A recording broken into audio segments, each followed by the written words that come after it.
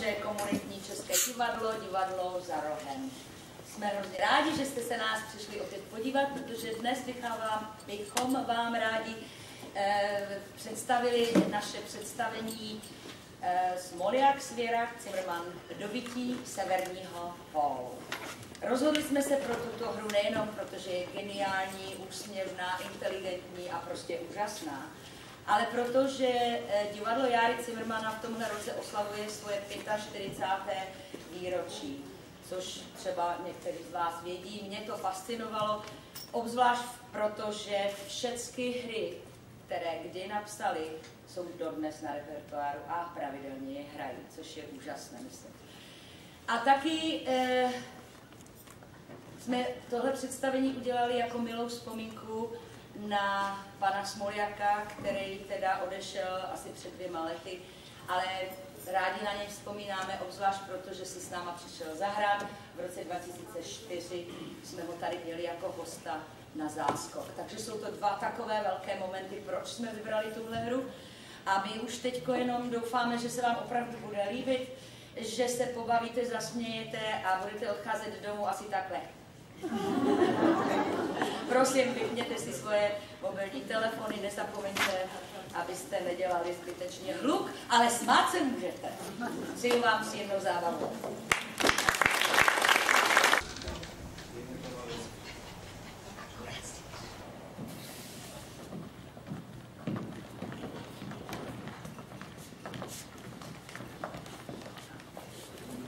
Vážení přátelé, za všechny mé kolegy vám přeji dobrý večer a vítám vás na dnešním představení Cimrmanova dramatu Dobytí severního pólu Čechem Karlem Němcem. Dnešní večer začneme trochu slavnostněji než jindy, a totiž recitací.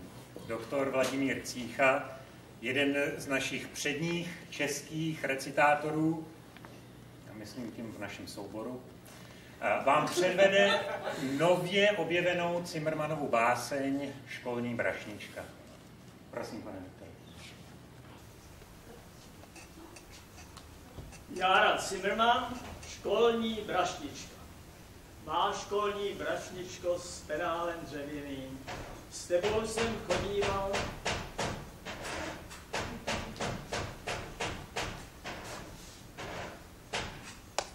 Jára Zimmerman, školní brašničko. Má školní brašničko s penálem dřevěným.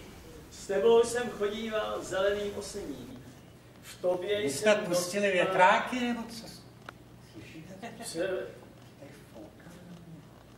Promiňte, pane doktore.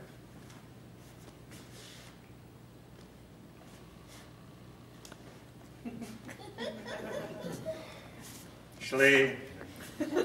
V tobě jsem Napište. Pa, pane doktore, tak, tak od začátku musíme. Jára Zimmerman, školní brašnička. Má školní brašničko s penálem dřevěným. S tebou jsem chodíval zeleným osením. V tobě jsem nosíval většinou jedničky. K radosti tatička, k radosti matičky.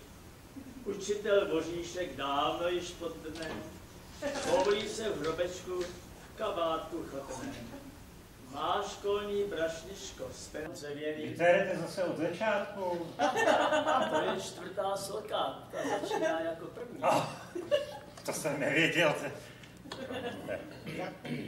Má školní brašničko s penálem dřevěným, jak se ti voříšku, jak se ti odmění. No, ano.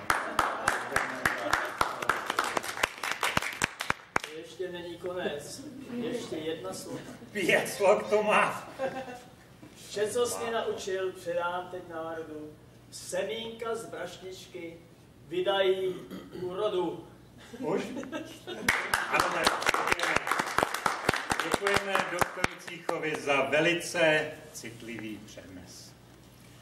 A teď bych vás, přátelé, poprosil o trochu trpělivosti. Divadlo, jak jistě víte, se neobejde bez pracovníků, kteří zajišťují jeho chod eh, v zákulisí. My v současné době hledáme novou technickou sílu dali jsme si inzerát, přihlásilo se nám na něj celkem devět uchazečů, no a my bychom si je rádi teď postupně vyzkoušeli. Vy se asi možná ptáte, proč teď, že jo, proč tím rušíme představení. No ale to máte tak, eh, on nám ten adept většinou zkoušku v prázdném sále udělá. Potom přijdete vy a to je tragédie. Teda, ne, my jsme rádi, že jste přišli, pochopitelně.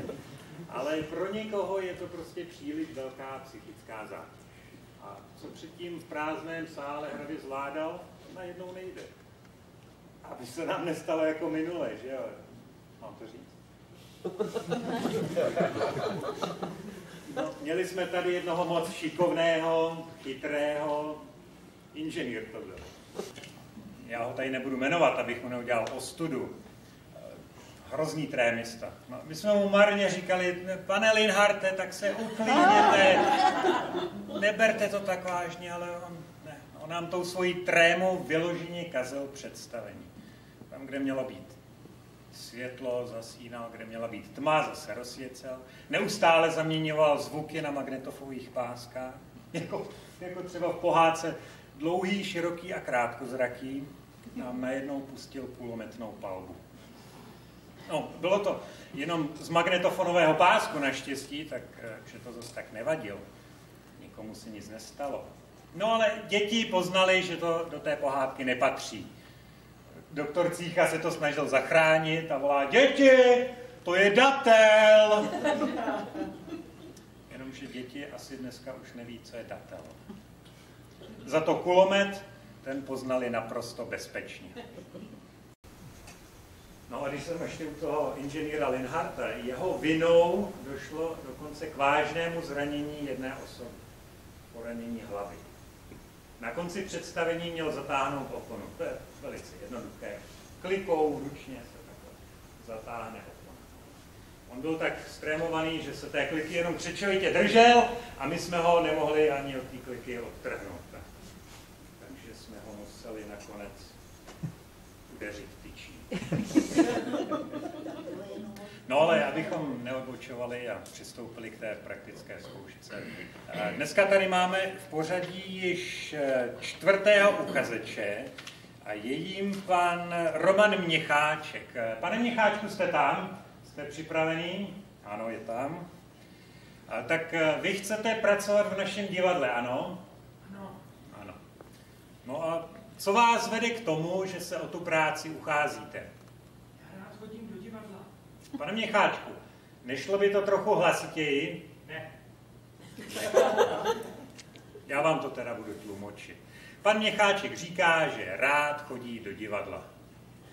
My asi všichni, že? Tady.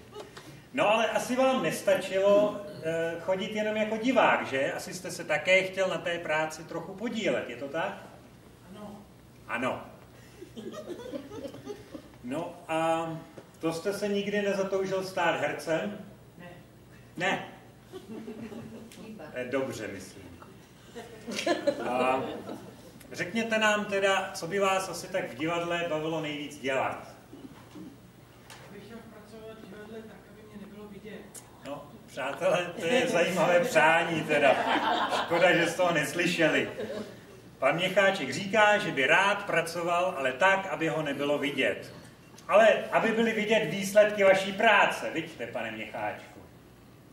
Přikivuje. No, abychom se dozvěděli také něco o vás. Kde jste pracoval předtím, pane Měcháčku? Teď jsem neslyšel dost dobře. Říkal jste na dráze, myslím, ale neslyšel jsem na které. Severozápadní dráze? Na strašidelné. Na strašidelné. To je něco jiného. To nepatří pod státní dráhy. Zatím teda asi, že? No a co jste tam dělal, pane Micháčku? V jaké funkci jste tam pracoval? Jsem klobouky. Aha, bral lidem klobouky. No, to je zajímavé teda. Rozumíte, jestli už jste někdo někdy byl na strašidelné dráze, jak tam lidé jedou v tom vozíčku tou tmou, takhle, tak pan Měcháček tady jim bral klobouky. Ale zase jste je vracel, že ano? Ano. Ano, vracel, no, dobře. Takže vy jste vlastně tím pádem také pracoval v zábavním programu a také vás nebylo vidět, že? No, protože kdybych byl vidět, tak by to nebylo tak strašidelný. No jistě, no. Říká, že kdyby ho bylo vidět, nebylo by to zdaleka tak strašidelné. To je přirozené. No a tak teda přistoupíme k té praktické zkoušce. Vy jste si vytáhl otázku 16b. 16b to je začátek představení. Velice krásná otázka.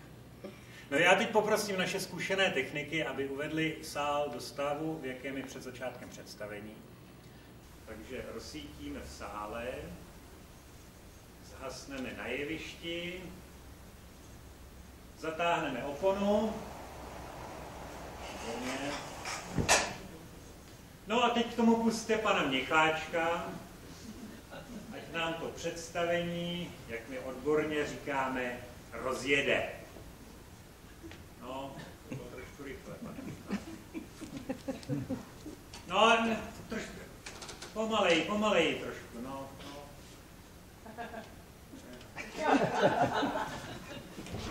Zkuste to ještě jednou.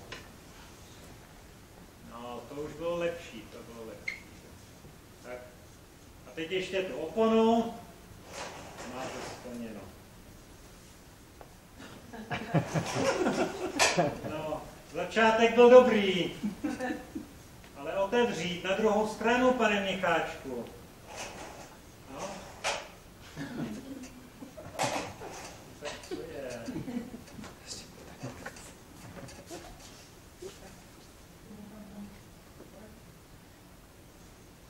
je?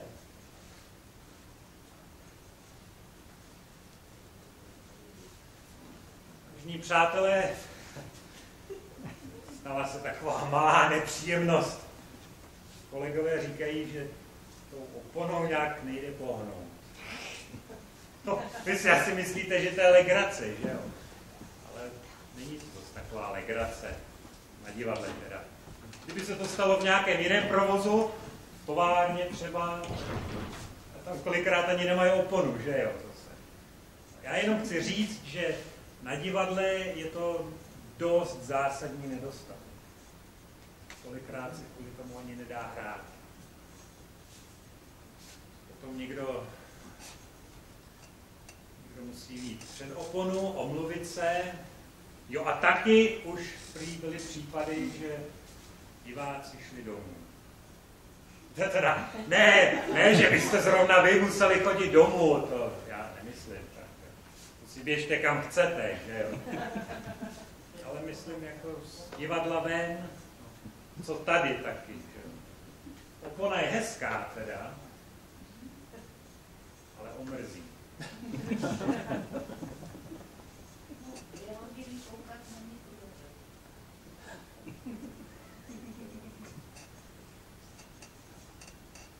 Vstupné se v takovém případě nevrací. To je na tomto smutné. Každopádně ne celé teda, to, protože část představení už jste přeci jenom schlédli, že? Když vám to asi tak nepřipadá teď, že jo? No.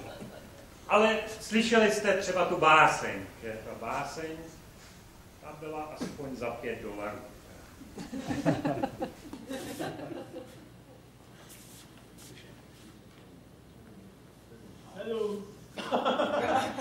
Doktor Cíka říká, že za sedm. Já nevím, teda, co bych vám ještě... Jo, takhle, kdyby, kdyby to někdo z vás chtěl dát k soudu, tak ten spor určitě nevyhraje. Protože ti herci eh, můžou taky tvrdit, že to představení odehráli celé, ale za oponou. Takže je nebylo ani vidět, ani slyšet. No, ale nebylo to jejich vinou. Ale už se něco děje. Tohle vypadá nadějně, přátelé. Tohle je pan Michal Hověcký, to je náš dlouholetý, zkušený technik. Jak dlouho u nás pracujete, Michale? 8 let. 8 let. Podržel byste mi ten žebřík? Ale rád, to víš, že jo. že kdybyste spadnul, nebylo nebezpečné jenom pro vás. V první řadě by to taky schytali.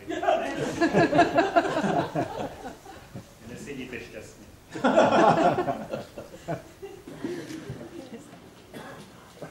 Michale, když teď máme tolik toho času, kde jste pracoval předtím vůbec? Udržbě. V divadelní údržbě. No ne, na jeřábek. Jeřábě. To je skoro stejný, ne? A proč jste tam odsud odešel? Ale kvůli závratím. A nesnáším práci ve výškách.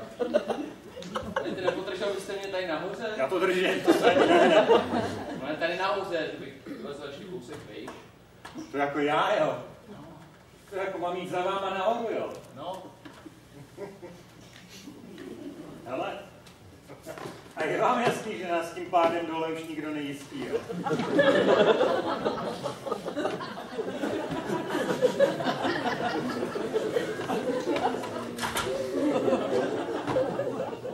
Tak teď teda, kdybychom spadli, jo, tak zabijeme dvojnásobný počet diváků.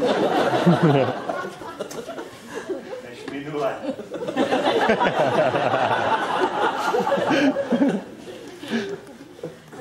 tak dolů. Jo. Tak já vám teda, Michale, pěkně děkuju. Dalo by se říct, že jste s tím zákrokem zachránil celé představení. A my, přátelé? My, přátelé, můžeme konečně pokračovat. To nepůjde opravit.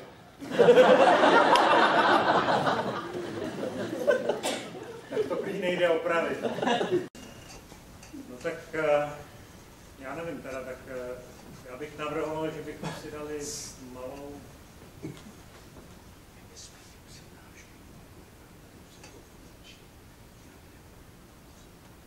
To je dobrý nápad. no. Kolegové navrhují, že bychom si mohli židle dát před oponu, ty přednášky bychom mohli udělat tady, místa je tu dost, a vy byste tím pádem dnes večer přišli jenom o tu hru.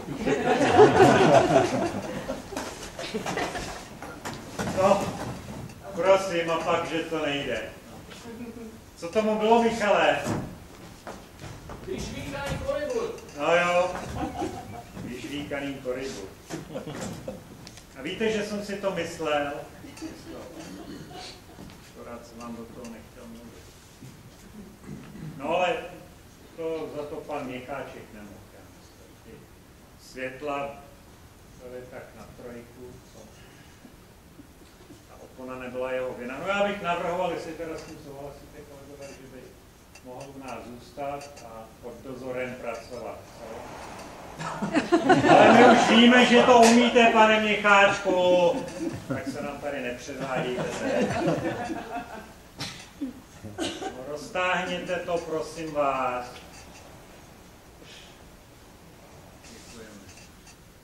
No a my teda můžeme přistoupit eh, k hlavnímu programu dnešního večera. Tak ho prosím vás k tomu ještě nepouštějte. Michale, jestli hledáte tu tyč, tak ta je u kliky.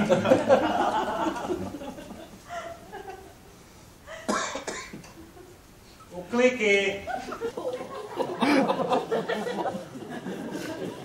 Děkuji. No, přátelé, podívejme se, dokud máme světlo, na okolnosti, za kterých vznikla Cimrmanova hra dobytí severního pólu. O první referát teď poprosím profesora Zdeňka Matouška.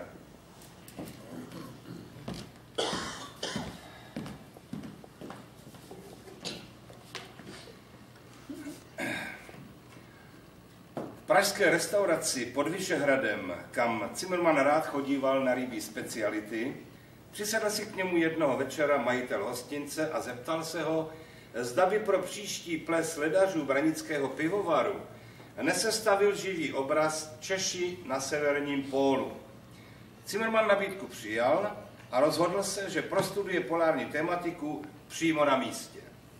Zajímavou vzpomínku zachytil Zimmermann ve své etnografické studii Národy a pro národy.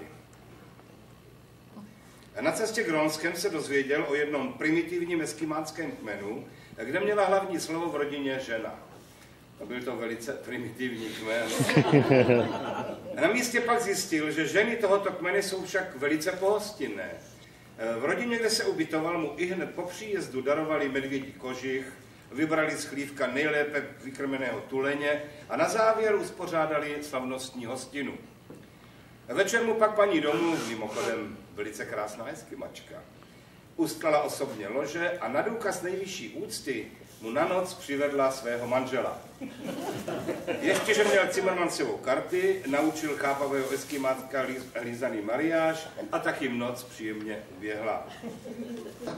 Nejcennějším přínosem Zimmermannovy cesty do Arktidy byl jeho objev sněžného člověka. Zimmermann se s ním osobně setkal a popisuje tohoto tvora jako samotářského plachého savce, vyznačujícího se s příjmenou kůzí, a to po zadních končetinách.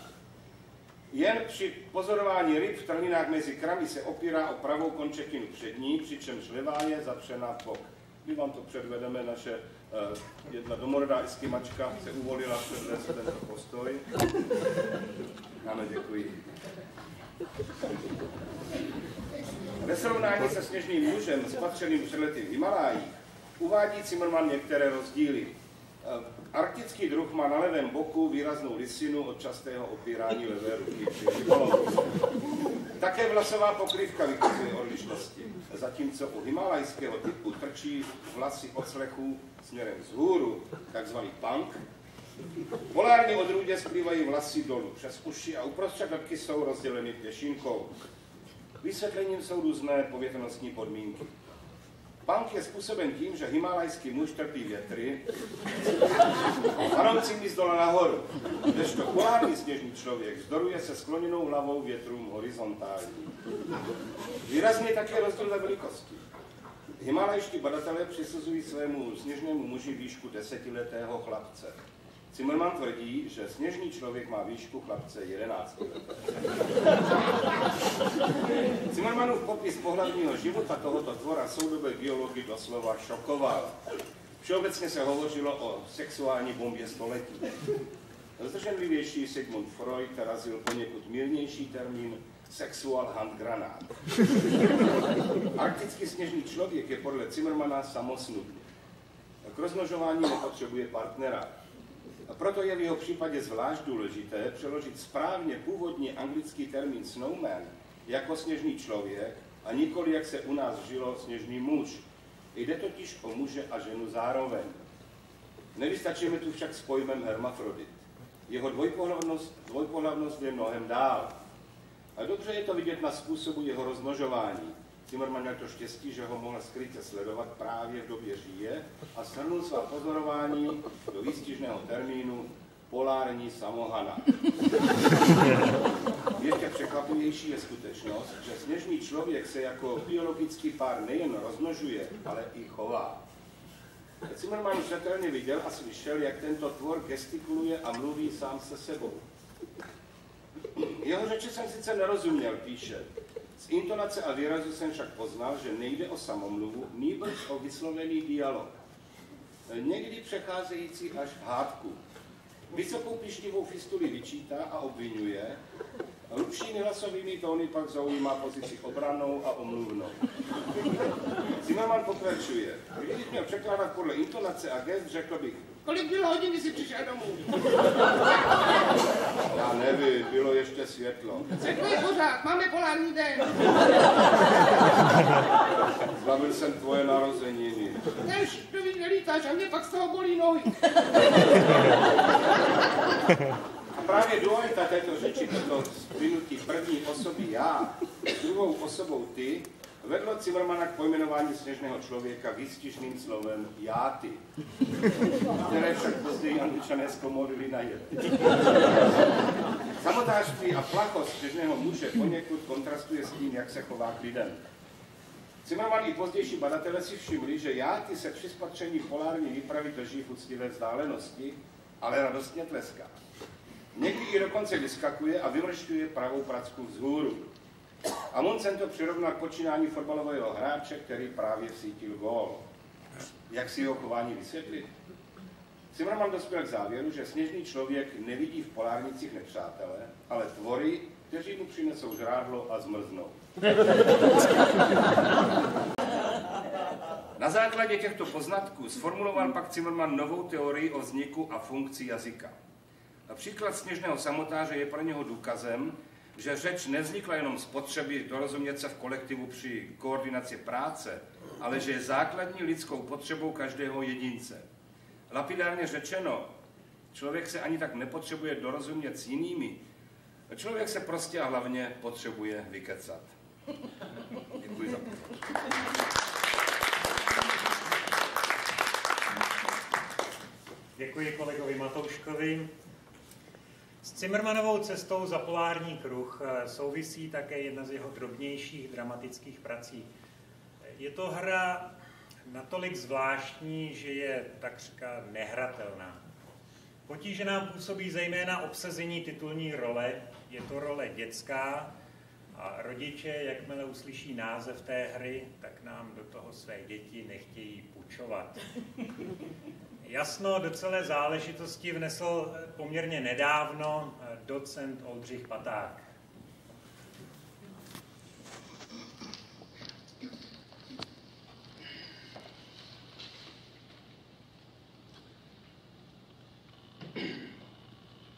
Jedním z nejvýznamnějších objevů uplynulé sezóny byl nález Zimmermanovy hry Přetržené dítě. Text, a to je prosím velice důležitá okolnost, nebyl psán Cimrmanovou rukou. Kritickou revizí hry byl pověřen kolega doktor Cícha. My jsme přetržené dítě hráli loni pouze jednou, a to jako uzavřené představení pro pozvané diváky, novináře a odborné zájemce a nutno bohužel konstatovat, že s nepříliš velkým úspěchem. My si tady můžeme interně říct, že to byl přímo fiasko. Dodnes nám chodí dopisy charakterizující hru jako málo veselou, zmatenou a morbidní. Diváci, kteří si, jak my říkáme, neberou servítky, ji dokonce označují za abstraktní. Hra nebyla dobře přijata ani v tisku, ani v tlači. Tak například Mladá fronta dnes loni napsala. Nic proti snaze označovat choulostivá místa lidského těla eufemicky, ale Zimmermanův termín zadní brada se ve slovníku naší mládeže asi sotva ujme. Bratislavský nový Slovák napsal, máme dosť pekných slovenských slov a netreba nám zadných brát z Prahy, ktorej bolo aj tak dosť. A divadelní časopis Scéna uzavírá svou recenzi škodolibou otázkou, zda onen debil v divadle, o něm se v přetrženém dítěti několikrát mluví, je v případě Zimmermanovy hry na jevišti či v hledišti. No, já jsem sám hledal příčiny tohoto neúspěchu a dostal, dospěl jsem k závěru, že vinou, že vinu na tomto nezdaru nenese Zimmerman, ale kolega Cícha promine, kolega Cícha. Zimmerman totiž diktoval svou hru sousedu Padevětovi, když u něj po návratu z Arktidy ležel se silným zánětem horních cest dýchacích. Nepříliš vzdělaný vyminkář zapisoval slova tak, jak je slyšel a neuvědomoval si, že e, rýma může smysl některých slov a znění některých hlásek naprosto změnit. Tak například M se v důsledku neprůchodné dutiny, nosní dutiny změní v B. Takže máma vyjde z nastydlého člověka už jako bába. Nebo objednali si nachlazený člověk letenku na Maltu Může se mu stát, že přistane na Baltu, což ho jistě nepotěší. No, tak jsme se zasmáli a teď vlastnímu dramatu.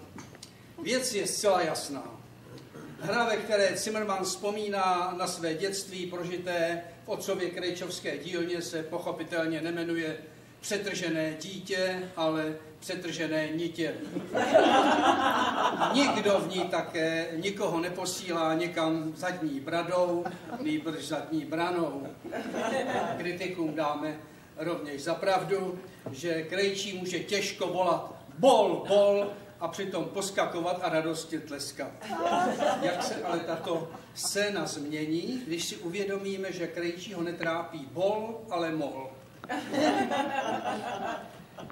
Sami už teď tak se poznáte, že herečka Jelínková neoznačuje svého manžela za debila, když mu vyčítá, všichni byli na mé premiéře, jenom ty jsi debil. Někdo z vás jistě také nebude krejčovského mistra podezřívat, že se chce sám propustit ze své živnosti, neboť si jistě správně přeložíte jeho větu je vidět, jak divdě, dám si padáka. Kolega doktor Cícha také nemusel pátrat v okolí vídeňského hotelu Sachr po místních nadávkách, když chtěl zjistit, proč rozuřená žena volá na své zlobivé děti deserte, deserte. A celá tragičnost hrůzyplné noci které podle eh, kolegy Cíchy dojde k zavraždění dítěte, se rázem promění v obyčejnou a přirozenou starostlivost rodičů o synkovou hygienu. Tak je totiž nutno chápat dialog. Už leží, leží. Ubil si ho, ubil. A pokud jde o zoufalou, o zoufalou hmotnou situaci v rodině, Krejčovské dítě nemělo takový hlad, že by muselo okusovat dehe. Doktor Cícha, jak jistě vidíte, to dělá dodnes. No, ale abych byl doktoru Cíchovi spravedlivý, jeho omily nepravnění z nějakého lajdáctví. Naopak, kolik času například musel strávit tím, aby změřil v Muzeu lidových nástrojů exponáty celého jednoho oddělení. Tím smutnější ovšem je, že k objasnění pojmu nejširší lidové basy to bylo zcela zbytečné. A závěrem prosím ještě jednu poznámku. Z textu je zřejmé, že jednoho místa textu je zřejmé, že v Padevětovou demku došlo k jedné velice smutné příhodě. Věta potřebuji nutně vybočit, svědčí o tom, že Padevět vůbec nepochopil, oč ho Zimmerman žádá, aby mu pomohl z lůžka, větu pouze zapsal.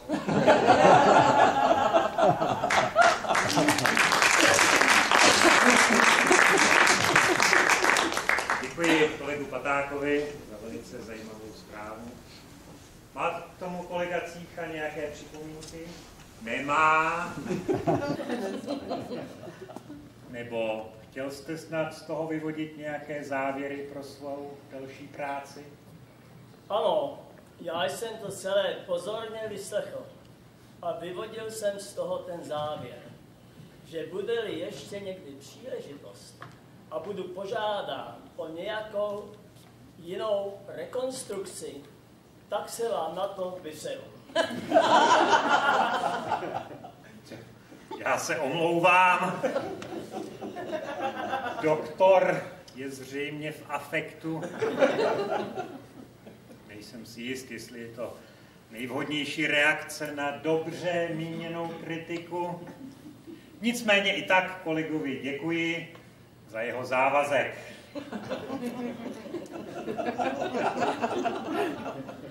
A o další příspěvek teď poprosím inženýra Daniela Zelmana.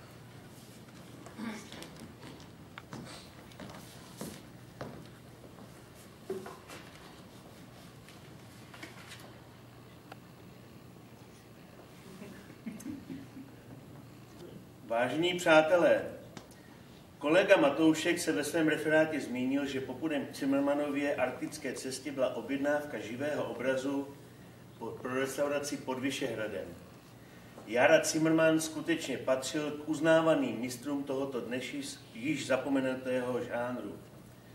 Pravý živý obraz se liší od obrazu na plátně jen tím, že jako materiálu je to použito živých lidí a reálných předmětů. Živé obrazy tvořily v Zimmermanově době neodmyslitelnou součást probuzeného národního života. Nesměli chybět na žádné plese či sokolských šibřinkách.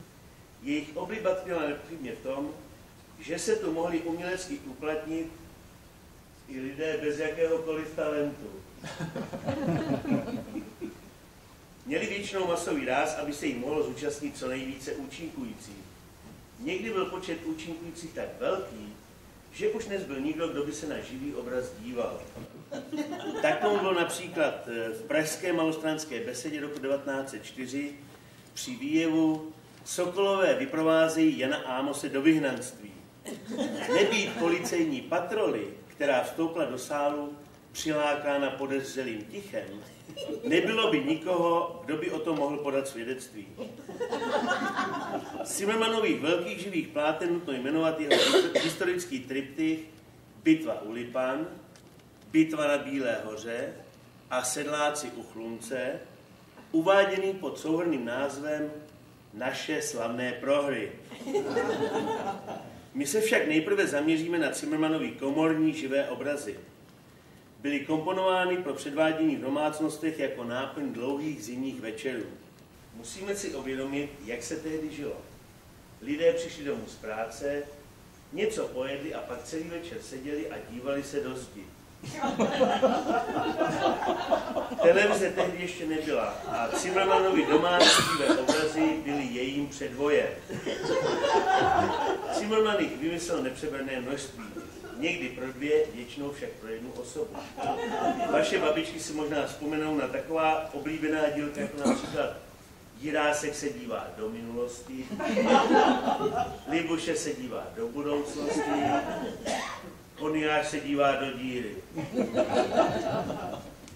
Početnějším rodinám byl určen Hus před koncilem Kosnický, početnějším rodinám s krbem Hus po koncilu Kosnické. Pro trpělivý lid lesní samot koncipoval poněkud zdlouhavý Lomikare do roka a do dne. Byly mezi nimi dokonce i seriály, například trojdílný Palacký. První díl se jmenoval Byli jsme před Rakouskem, druhý Budeme i po něm a třetí Kdo ví jestli. Rádi bychom vám několik těchto komorních výjevů předvedli. Poprosím kolegy, aby připravili scénu. Děkuji.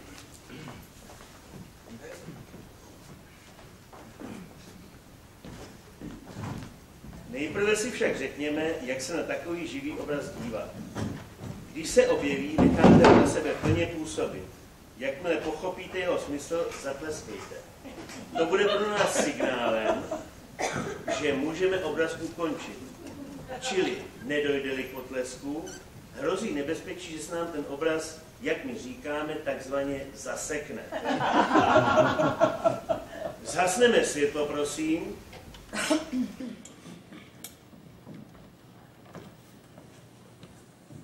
Prosím světlo. Jan Žižka těsně předtím, než mu vystřelili levé oko. Prosím, zatleskáme, jinak nezmizí. Děkuji. Ano, prosím. A další obraz. Světlo, prosím. Si ruchadla bratranci Weberkovi.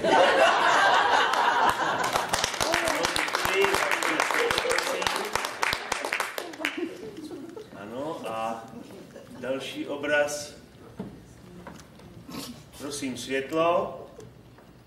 Doktor Miroslav Firš vynalézá stroj rozkročný s rukama v týl.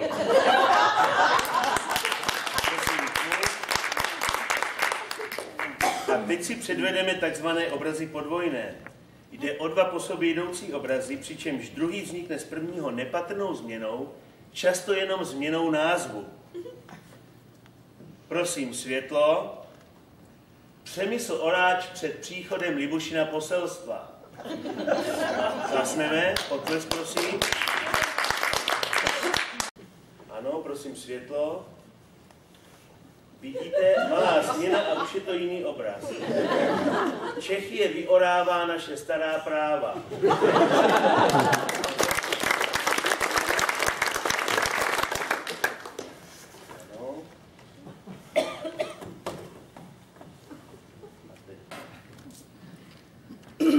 Tak eh, já bych prosil světlo. Vidíte to? Doktor Konrád Rengen při práci.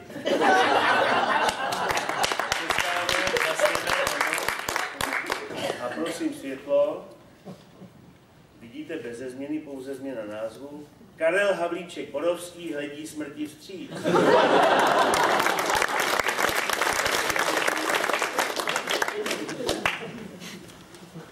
A já poprosil o plné světlo. Přátelé, na závěr této přehlídky Cimrmanových živých obrazů se pokusíme o inscenaci jednoho z jeho velkých výjevů. Pokusme se o rekonstrukci skutečně náročného a hlavně lidnatého živého obrazu, který Zimmermann skomponoval na objednávku vzájemné pojišťovací banky Slávie a který nese název Škodu nezjistí, kdo se pojistí. Bankovní úředníci předváděli každou sudou hodinu ve dvoraně na, e, nádvoří dvora, e, dvorany jako náborovou akci. Já tu mám Zimmermanovo schéma, podle něhož by se nám to mělo podařit přesně tak, jak to tenkrát dělali. Tak, uprostřed obrazu stojí pojišťovací agent.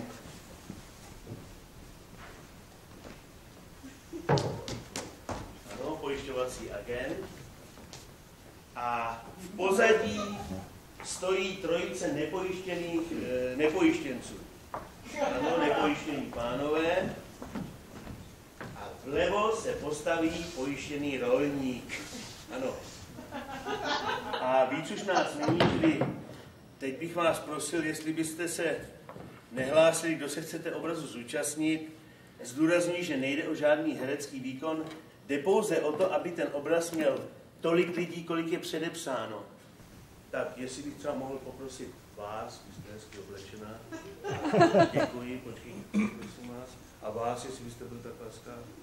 Děkuji. A vás, bílých, vás už mám vyhlednutého, pojďte prosím vás, taky ano. ano děkuji. A třeba vy tady na tady poslucha nalevo opatrně. Já vás vítám na jevišti. Vy byste představovala rolníkovou manželku, ano. A vy tři pánové, prosím vás, se posadíte na tu lavičku. Ano, děkuji. Rolník se jmenuje Michal, abyste o něm něco věděla, když už s ním budete žít v manželství. Ano. A nyní ten obraz propracujeme. Představitelé nepojištěnců, to jsou ti stojící pánové, se, pánové se charakterově odlišují. První nepojištěnec, profesor Matoušek, ten představuje člověka, který je už pevně rozhodnut, že se pojistí a proto zvedne ruku a vyžaduje příslušné formuláře. Ano, ano, potom, potom, teď ještě nemusím. A kolega Paták, to je postava, která se chce také pojistit, ale je na vahách, zda, zda uzavřít pojistku plnou, anebo jen částečnou. A konečně třetí doktor Přícha představuje člověka, který by se také rád pojistil, ale dívá se, jestli na to má, tedy výši své hotovosti. Pane doktore, tady je napsáno, že na to má. A teď, pánové, na lavičce. Tak. Vy budete představovat zatvrzelého odpůrce pojišťovací myšlenky. Vy jste sice vyhořel, nebyl jste pojištěn, ale ani to vás nepoučilo. Vy pojišťovnu a priori nenávidíte. Čili, jak to tam má ten Zimmermann napsaný, eh, ano, vy pojišťovnu nenávidíte. Stručně řečeno, v celém živém obraze jste vy jako jediný postava bohužel záporná, negativní, vysloveně nesympatická. Poslyšte, vyměňte si to tady s tím pánem na kraji. Ale vy mi na to připadáte lepší typ, že ta pojišťovnu budete, jak se patří, nenávidět. No a vy uprostřed, vy byste představil člověka, který byl pojištěn, ale když vyhořel, tak eh, zjistil, že nezaplatil včas pojistnou splátku a tudíž pojišťovna mu nedala vůbec nic. Ano, smutek. No. A vy byste teď měl novou roli, vy budete představovat člověka ještě smutnějšího, než, než je váš kolega po pravici. Představte si, vy jste byl pojištěn, včas jste platil pojistné splátky a když jste vyhořel, tak se ukázalo, že jste pojištěn ale proti klupobytí. A teď přejdeme k levé části obrazu. Pojišťovací agent ukazuje těmto šesti pánům šťastně pojištěný manželský pár. Oni teda sice vyhořeli až do gruntu, ale protože byli pojištěni, včas platili pojistné splátky a byli pojištěni proti ohni, jsou na spáleništi svého domova šťastní. jako nikdy předtím. Eh, té dívce bychom dali šátek, aby dostala venkovský charakter. Vám bude slušet všechno. Ano, ano. A Michal bude tak laskav a udělá vás maminkou. Ne, ne, ne, ne, ne, ne, ne, ne. My to tady, my to tady z časových důvodů řešíme panenkou. Tak a tím je živý obraz téměř hotov. Říkám takřka, protože jistě cítíte, že na tom piedestalu prostě musí někdo stát. Bude to ústřední postava celého běhu, bude to Slávie, symbol té slavné banky. Bude to ústřední postava, no, čili mám poslední prozbu, potřebovali bychom dívku z obecenstva, aby se, ta, aby se nám postavila. Nic na tom není. Bude tam prostě stát a v ruce bude držet jenom celý barák. Barák. Ano. Toto stavení bude nabízet pohořelcům na znamení, že takový dům si potom postaví za peníze od pojišťovny. No tak je to jenom pravda takový drobný detail, že ta dívka musí být nahá. Tedy tak úplně nahá nemá přes prsa, respektive mezi prsy, šerpu v národních barvách. No, čili to mohlo být hezké a záživné, že? No, než se rozmyslíte, tak nedávno jsme dostali takový zajímavý dopis z Pardubic. Jedni manželé s nám něm svěřují, že na základě účinkování v tomto živém obraze před, před dvěma lety seznámili. Ten pán si prý koupil lístek až do poslední řady a viděl svou budoucí ženu prvně v životě a hned jako banku sláví. Často na to prý vzpomíná. Paní doslova píše, manžel často lituje, že tenkrát nesehnal lístek někam dopředu, aby lépe viděl. tak už si některá divačka rozmyslela, vy jste se hlásila? Ne, já myslím, že už se rozepínáte, ne? Ne, ne. No takže budeme muset sáhnout k nouzovému řešení. Uh, Vysvětšte prosím kolegu Koldu. No, ponožky si nechte, nezdržujte to, doktore, pojďte. Nezdržujte, pojďte, pojďte, pojďte. Tak. Ano. Taky stále, ano, tak. Tak. Mezi prsy jsem říkal. Tak. Je živý obraz o to. Já teď prosím jeho aktéry, aby se dostali do té nálady. Ano, ano, tak. Je to naprosto bez pohybu, ano, je to obraz. Výborně, ano, ano. A my na sebe necháme Zimmermanův živý obraz. Tiše, ale opravdu tiše, až do přestávky působit. Ještě si všimněte takové zajímavosti tohoto obrazu. Málo kdo si toho všimne. Všimněte si, prosím, postavy váhajícího nepojištěnce. Je to tato postava. Ta má tu zvláštnost, že ať si vidíte v kterékoliv části divadla, vždycky se na vás dívá. Můžete se o tom, můžete se o tom přesvědčit. Tak nejprve se přesvědčí. Pravá polovina, pravá polovina divadla, sálu, ano.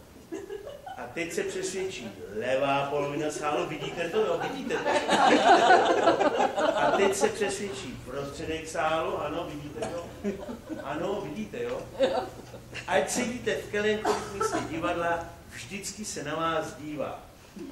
A tím je živý obraz ukončen, můžete mu prosím zatleskat. Uděláme si přestávku. Já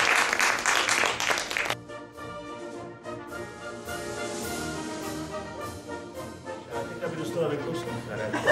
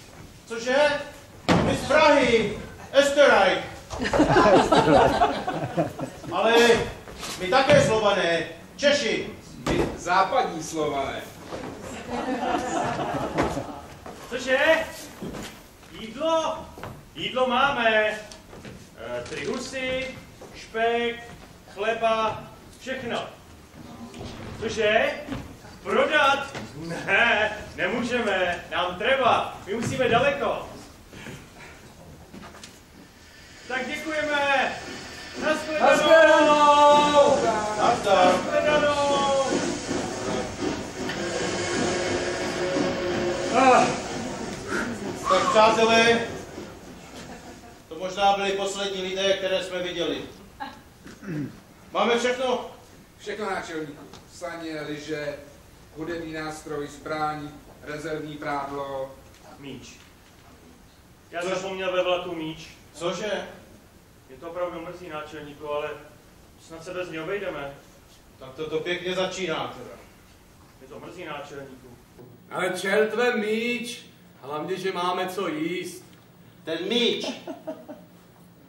Na mě si vzpomenete, ten vám bude set sakramensky chybět. Víte, jak dlouho trvá polární noc? Sto dní. Sto dní. Já to řekl první. Ano, sto dní šera, mrazu a samoty. Vy si myslíte, že ta trudomyslnost je sranda, co? Co pak jsme stokrát nečetli, co to s lidma dělá? Ale ze 630 polárních výprav jich 8 zahynulo hladem, 6 mrazem, 4 vysílení a 17 trudomyslností. 17. Počkej náčelníku, ale to je 35. Jedna výprava chybí. Jak to? 8 hladem, 6, 4, 17, to je... 35. Pravdu má náčelník. Náčelník úmyslně neuvedl, viď Karle, americkou výpravu profesora McDonalda, která zmizela neznámo. No, to není sranda si to vidět bez míče. Náčelníku, původně jsem si to nechával pro sebe, ale teď, když víme, že jsme bez míče, řeknu to hned. Zatímco jste ve vlaku spali, složil jsem píseň do nepohody a myslím tedy, že se povedla. A kromě toho jsem si připravil jeden komický přerodek, ale to bych nerad prozrazoval, protože to byste se pak nesmáli, až já se do toho navlíknu, čili já myslím, že se žádné trudomyslnosti bát nemusíme. No, to vidět. Podívej, Amundsen, chlap z ocele a plakal jako malý kluk. Ale už tady okolo blbýho míče stojíme dost dlouho. Výpravo! Pozor! Do lyží!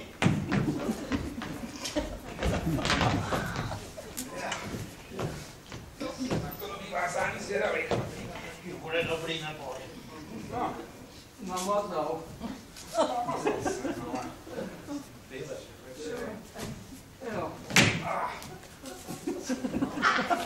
przy ulicy.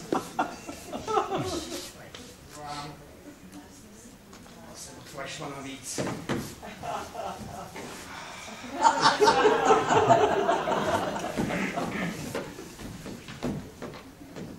Za przechad.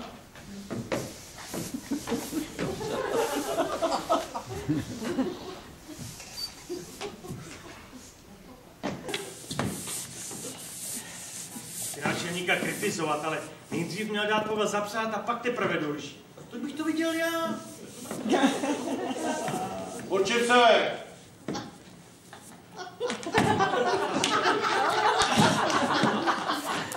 Směr sever.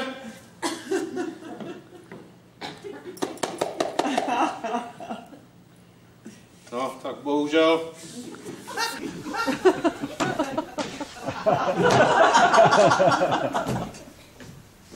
Jednotlivě, pravotočivě o 180 stupňů. Zpět, raz a dva.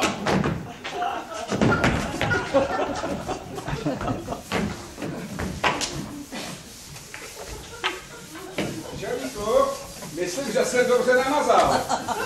V pořádku. Vypadáte jako kverulant, ale já bych se čeho nejdřív určil sebe.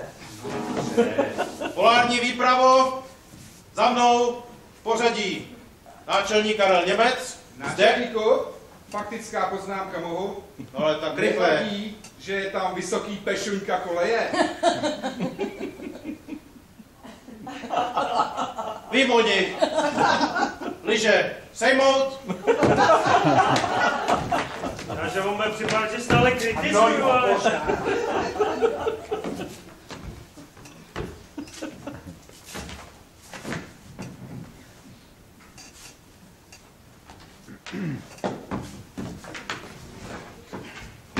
polární výpravu, v pořadí. Náčelník Karel Němec, zde, lékárník Vojtěch Šofr, Zde, pomocný učitel Václav Poustka, Zde, potah Karel Frištenský, zde, směr severní ledový pól, a jdi před.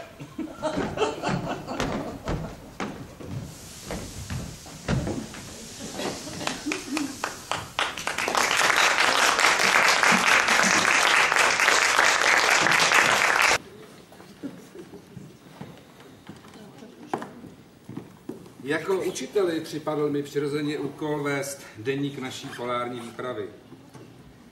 Přečtu vám prvních 37 stran. Kapitola první. Zrod velkého projektu. S nápadem dobít severní pol přišel minulé úterý magistr Šofr. Když jej na schůzce naší jednoty podolských otužilců přednesl, byli všichni návrhem nadšeni. Ale nikdo se nechtěl výpravy zúčastnit. Většinou z rodinných důvodů. Nakonec se přeci jen tři odvážlivci našli, kteří se k němu připojili. Náčelník jednoty Karel Němec, ledař branického pivovaru Varol Frištenský a já, učitel Václav Poustka. Všichni staří mládenci bez rodinných důvodů.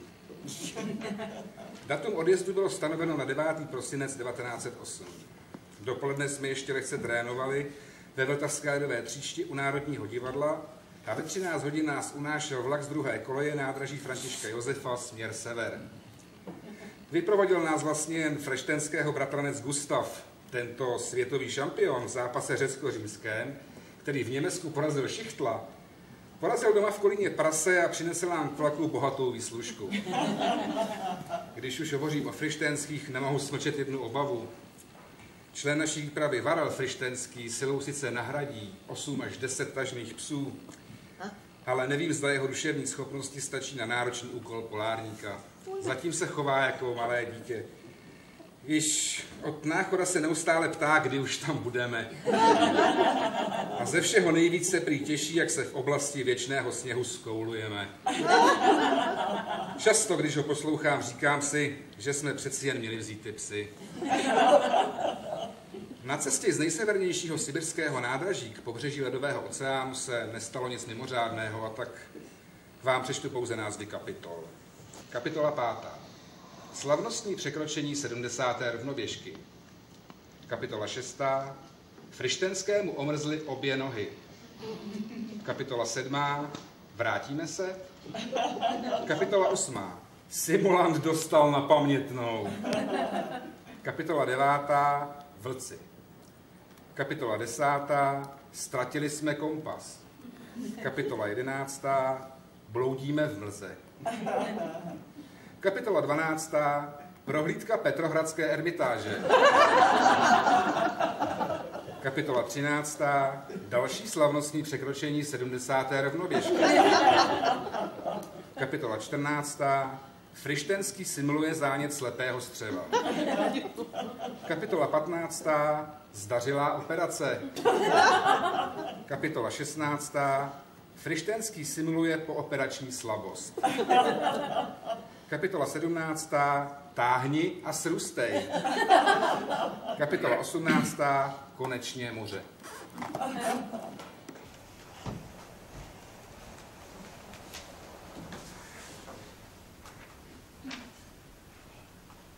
Poslyš náčelníku, víš to jistě? No jasně, to je dokázaný. Kolik je hodin? Za deset minut. Půl třetí. Co jsou věci? Tady čtu, že na všech školách v Rakousku má být lázeň. To si teda nedovedu představit, to chtějí mít ve třídách sprchy nebo vaničky. Tedy je to pohodlné to driftování, ale vleče se to. Nějaký inspektor Hruška to tady píše. Zas neměl co dělat, dědek. Možné to je, hygiena je důležitá i na školách. Tak počkat, ne, já už na to taky nevidím. Kázeň má být na všech školách, kázeň, já to je jako lázeň. Tak kázeň to jo, to ale nemusel Hruška psát, to každý ví. Helejte, já tomu stejně nevěřím. Přece kdyby jsme jeli, tak by to muselo drncat. Nebo by se to pohupovalo. Nebo by jsme vzduch cítili, jak rozrážíme. A krajina by ubíhala dozadu. To mi nevykládejte. Varel jak sedmiletý dítě. Václave, prosím tě, ty jako pomocný učitel mu to snad budeš umět vysvětlit. Ty, Karle, já myslím, že tady na severu bychom se nemuseli pořád oslovovat plnými tituly. Klidně mi říkej jenom učitel. No, tak dobře, no, tak to Varlovi vysvětli. Varle, podívej. Celý tenhle ledo- ledový krunýř, na kterém jsme se právě ocitli, se vlivem morských proudů pohybuje k severu. Odborně se tomu říká drift. Hele, to jsme si nevymysleli, to je popsáno v literatuře, čili nic nedrncá, nic neubíhá dozadu, všechno, co tady je. Já nevím, náčelník, kytara, já, lékárník, všechno. Pomalu sice, ale neustále driftuje k severu. A já? Ty s námi taky bohužel driftuješ. Takže podle tebe já tady stojím, nic nedělám a driftuju, jo? Správně. Tak hele, nikdy jsem nic takového nedělal a nikdo mě k tomu nedonutí. Václav, jak dlouho ještě budeme driftovat? Takových 10, 11 dní. No, to vám teda nezávidím. Teda kamarádi, je to pohodlné to driftování, ale vleče se to. Já vám nevím, co to se mnou je, ale já bych to nejraději otočil a driftoval zpátky. K nám, domů, do Prahy, do Podolí, do lékárny, do prdele, to je mi smutno. A je to tady. Trudomyslnost ušima. No vidíte, když jsme měli míč, pinkli bychom si a hned by byla nálada. Nic se neděje, náčelníku. Zahraju vám tu píseň, kterou jsem právě pro tyto chvíle složil ve vlaku.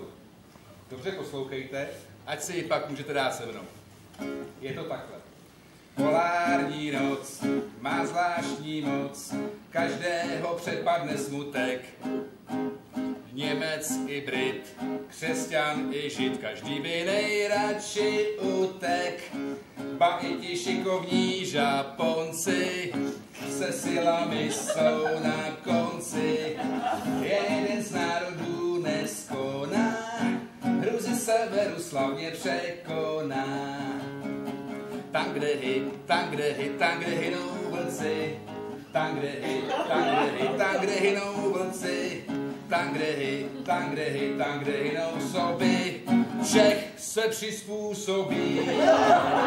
Čech se přizpůsobí.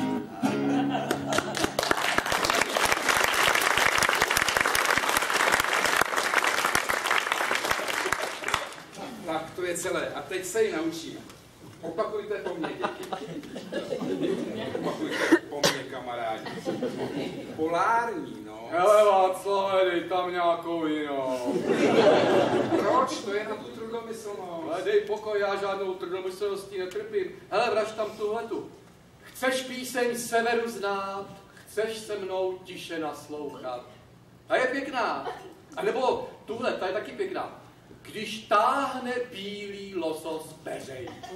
To je ta samá. Jak to? No jo, no. Hleďte, kdo nechce, nemusí. Ale my ostatní se tu mojí schutí naučíme, co říkáte. Tak ta slova. Polární noc. Polární noc. Má zvláštní moc. Má zvláštní moc. Každého přepadne smutek. Každého přepadne smutek. Němec i Brit, čili anglosasové. Němec i Brit, čili anglosasové. Pomůcka. Ty Vašku, mě nic nebylo. Ale po té tvý písničce se mi dělá na nic. Mě taky. A jaké já mám chmurné představy. Mě se vám například pořád honí hlavou, že jdu jako každou středu k magistru Boučkovi na šachy. Přijdu tam, zazvoním, odevře mi ta jeho bytná a já půjdám. Je pan magistr Bouček doma? A ona vám takhle udělá hlavou a povídá, ne. Počkej, jak to? Když bulharka. tak já říkám, že si zatím projdu po parku, snad se do té doby vrátí.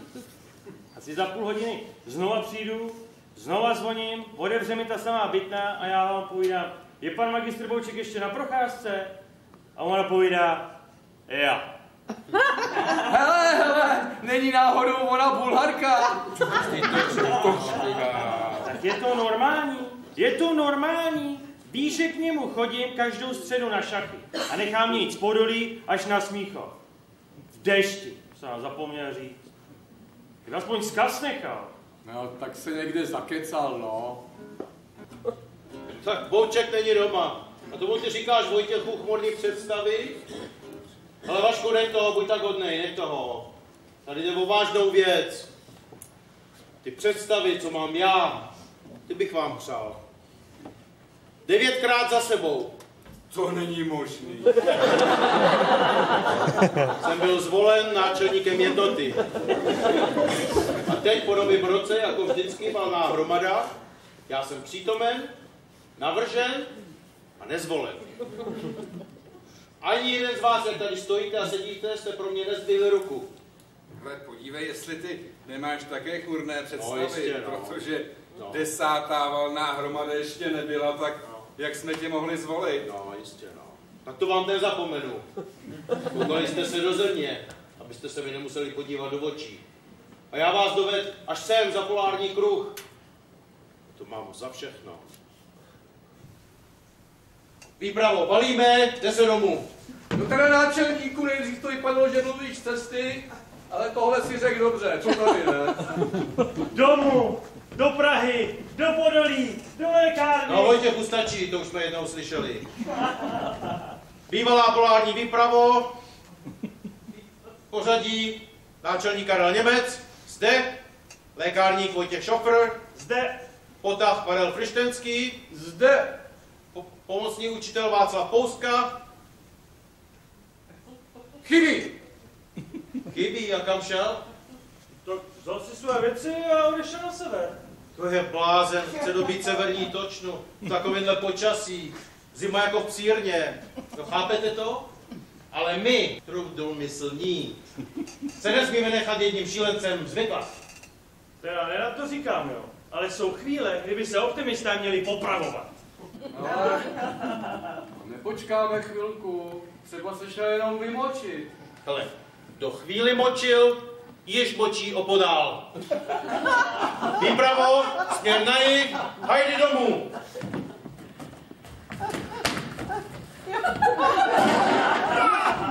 No podívej, Frištenský, ty seš takovej.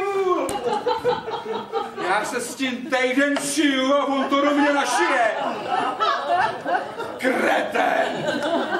Promiň Václave, tohle já nemohl tušit, chtěl jsem, abyste měli večeři. Vidím ptáka, tak střílím, ne? Jak dostal, Václavé? Mám tu křídla, člověče. teda Václave, to bylo o tebe trochu nedomyšlený, víš? Kdyby se tady na polu převlík třeba za opici. Dá se poznat, že je to legrace. Ale tučňák, člověče, mě to taky zmaililo. Na tož takovýho primitiva, jako je tady Frištenský. Děkuji ti náčelníku, že se mě zastal.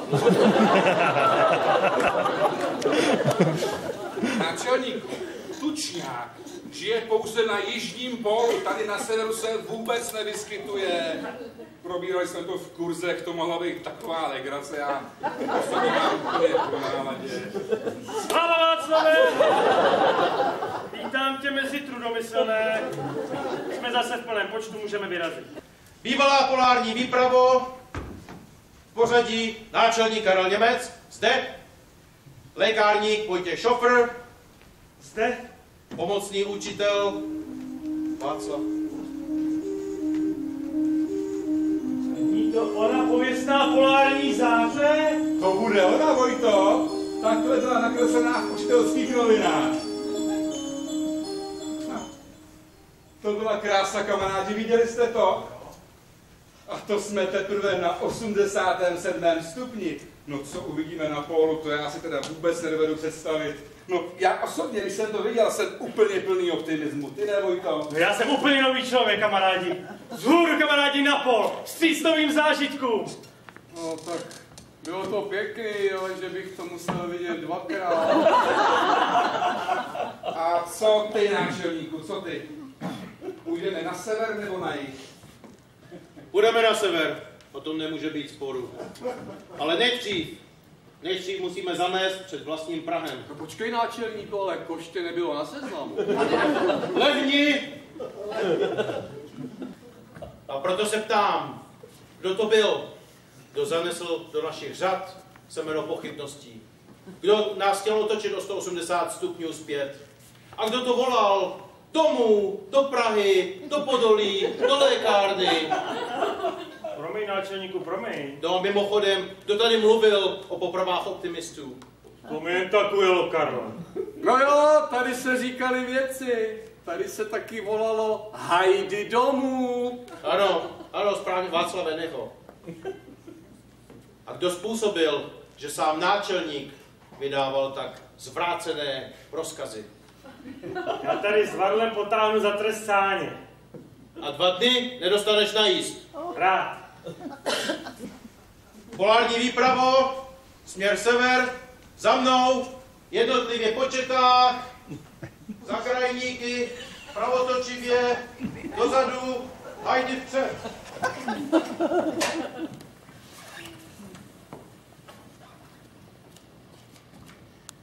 Poslední týden nás pronásleduje smůla. Lékárník uklouzl a hnul si s plotínkou. Náčelníkovi se spustila rýma, mně se ozval žlučník a Frištenský ztratil obojek.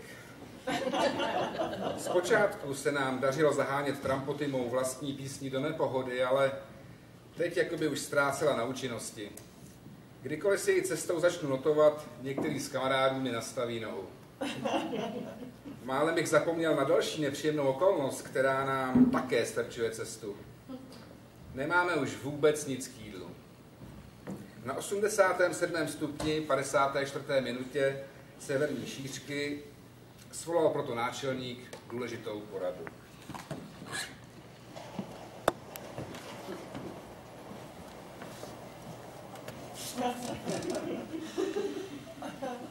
Pánové, hrozí nám smrt hladem. Přemýšlel jsem o tom celou noc a nevidím jiné východisko. Navrhuju, navrhuju sníst psy. Promiň, Karle, ale říkal jsi psy? Psy. Ale Karle, teď mi přeci žádné psy. Aha, už rozumím. Jaký psy? Je to sice smutné, že člověk musí vztáhnout ruku na svého věrného přítele, ale asi opravdu nebude jiné východisko. A možná by bylo dobré nejíst je všechny najednou. Jíst jen po částech, aby zbytek spřežení byl stále schopný tahu. Co to tady blábolíte? Kde vidíte jaký psy? Tak s tím nesouhlasím. Když utratit, tak najednou. A hned dřív než hubnou. Už je to tady. Zešíleli. Pánové, vzpamatujte se. My přece žádný psi nemáme, vzpomeňte si. Vy jste původně chtěli vzít psi, ale já jsem vám to rozmluvil. Řekl jsem vám, vemte radši silného chlapa, jako jsem já. Ty sáně utáhne a ještě zastane jinou práci.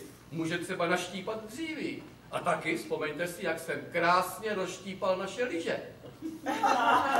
To všem bylo poslední dříví, co jsme měli. Takže teďka jsem mám dobrý akorát k tomu tahu, ale pořád ještě táhnu dobře, pořád jsem ještě silný. No právě, já bych to neodkládal.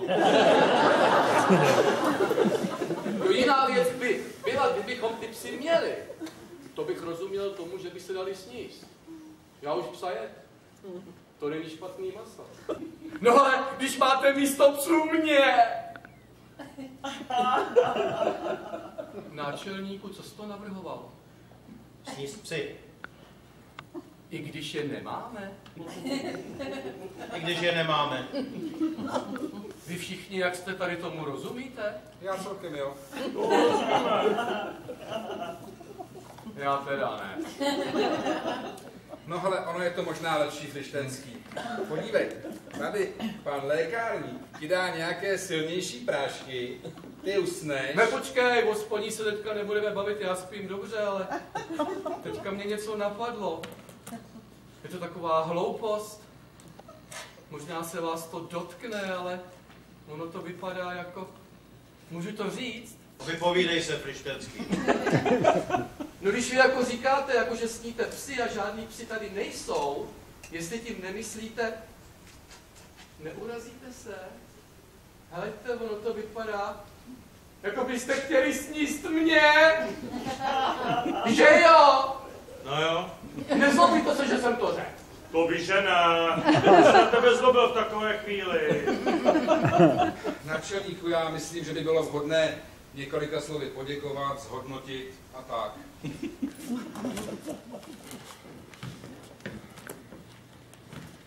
Milí bratře, drahý kamaráde, vážení pozůstalí. Jménem celé naší české polární expedice ti chci poděkovat za tvou obětavost, ochotu a vytrvalost, s jakou jsi to dotáhl až sem. Byl jsi nám, Frišťo, dobrým kamarádem. My všichni, kdo jsme tě znali, jak po stránce osobní, tak pracovní, když já si třeba vzpomenu, jak si v chudobinci natřel pupu, to to někdo za mě, já už nemůžu. No tak já bych Ale ty ne, ty ne. Vojtěchu, Vojtěchu, prosím tě, vem to za něj. Tak já bych snad řekl už jen tolik. Byl jsi nám nejen dobrým kamarádem, ale i otcem, strýcem a tchánem. Nikdy na tebe nezapomeneme. Zůstaneš dlouho v nás. Tedy alespoň po nějaký čas. Helejte kamarádi, já myslím, že na tyhle ty řeči je ještě dost času. Podívejte, ještě na tom polu nejsme, nechme to, až tam budem. Zatím jsem ještě dobrý, ale taky bych se mohl zkazit. Ale tak toho se neboj, Manuel. Tady na chladném severu se nic neskazí. Ale jaký my Češi jsme, co? Doma to se pereme, hádáme, zkrátka nežereme se. Co? A tady na polu bychom se samou láskou snědli. No, Frištenský, prosím tě, kde je ta sekera, ty jsi s ní naposledy štípal? Jo, tady, tady. Pojď mi, chlapče. Tak na tohle já se nemůžu dívat. Já taky ne. Já taky ne. hele, hele, jeho jsem viděl štípat dřív jenom jednou a úplně mi to stačilo. Krištenský, ty tady u toho musíš zůstat. Myslíš? No tak to nejsem, já letá roštípu sám. A jestli se na to nemůžete dívat, tak tady zůstaňte, já s nima půjdu trochu dál. Ale kluci, byli to dobrý sáně. Až to bude z kopce, možná budeme litovat. Ještě, že je to taková čistá, bezhostná duše. Je to dobrá. Od kosti. Řeknu vám, já kdybych neměl takovej hlad, on je proti nám pořád ještě frajer. On možná bude i libovej. Tuhle jsem ho pozoroval, když táhl saní. Když byl v plném záběru. On je skutečně dobře, dobře vyvinutý. Jo. Třeba ty jeho hýždě. Já vám to teda řeknu, kamarádi. Minule, když jsem ho vypřáhal ze saní, tak jsem si ho poplácal. Já už to mám měsíc. Pánové, jak tady prvé mluvil o tom češtví, víte, neměli bychom zapomínat přece jenom na ideály humanismu. Když jsem v ruce držel tu sekeru, najednou jsem se vám zastyděl. To je pravda, Karle, tohleto. Pojďte ho nechat zmrznout. To je taky pravda, Karle, tohleto. No, aby to dlouho netrvalo, náčelníku. Co koukáš na mě, náčelník je tady. Ježíš Karle, promiň, já už tady šilhám. No, a je po saních. Tak teďka ale opravdu nevím, k čemu vám budu dobrý. Poslyš, Frišťo, ale zavřel se u toho štípání, veď? Jo, to jo. Štenský, rozvaž si šálu. Jo? Tak to bych nakonec mohl. Sundej si rukavice, to ti udělá moc dobře. Rukavice. No, obě. Obě. Jo, jo. Ah, avans. Tak jak se cítíš, Štenský? No, mě kapánek zalejzal za nech.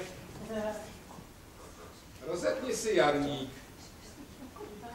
Myslíš kabát? No hele, já bych to nepřehnal. No, Zase takový nic není. Uh.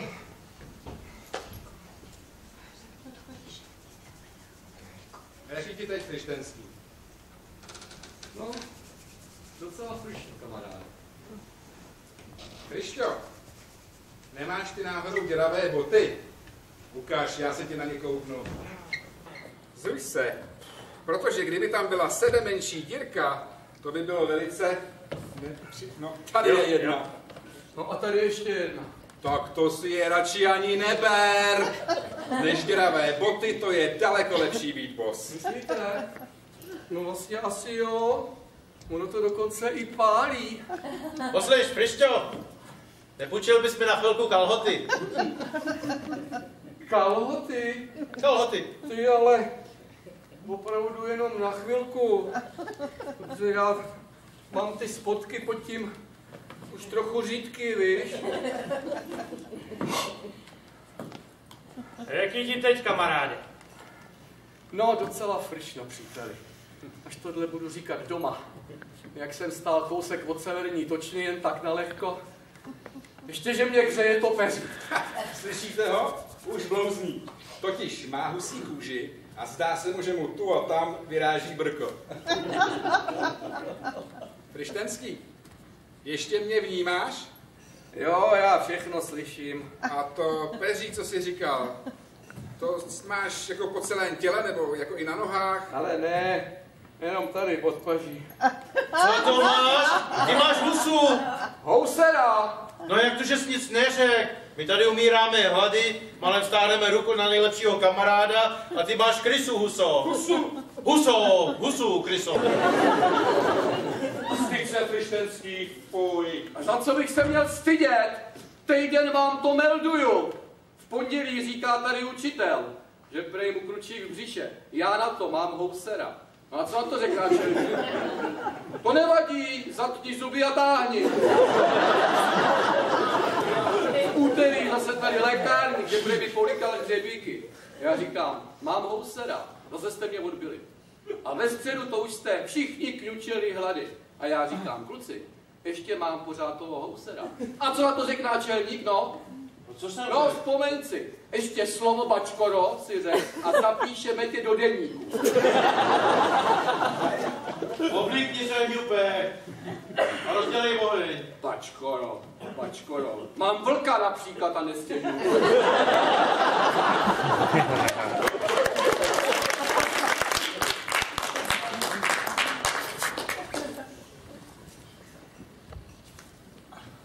Jak se blížíme k pólu, sužuje nás stále větší a větší mráz.